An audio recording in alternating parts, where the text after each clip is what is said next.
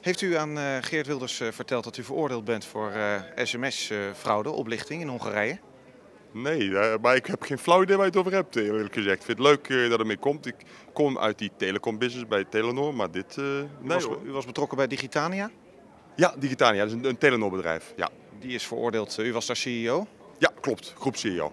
Absoluut. Die is in 2007 veroordeeld voor uh, oplichting, sms-fraude? Nee, nee, nee, nee, nee, nee. Heeft u helemaal verkeerd begrepen. Nou, leg het eens uit. Nou, dat doe ik straks nadat ik hier naar het vragenuurtje ga. Maar ik, heb, ik heb het liever nu even. Nee, nee, nee, daar heb ik nou helemaal geen behoefte aan. Maar er is helemaal niks mis. Het telecombedrijf uh, Telenor heeft een aantal werkbedrijven. Digitania is daar één van die bedrijven van. En uh, Digitania heeft helemaal niks verkeerds gedaan. Uh, helemaal, absoluut niks verkeerds gedaan.